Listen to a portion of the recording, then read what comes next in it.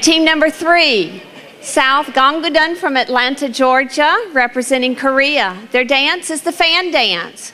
The Korean fan dance looks like dancing flowers. The colors of the fans and costumes symbolize the national flower of Korea. The bright colors, the beauty and grace of the dancers manipulating the fans are used to attract other people's attention as the beautiful flowers in nature attract the bees and other animals. The Korean fan dance was once used as entertainment for the royal court. Today, the dance is performed during celebrations like New Year and other festivals. This dance has been approved by the Director of Judges for an extension of six minutes and eight seconds. Let's welcome our dancers from South Gongudon, Atlanta, Georgia.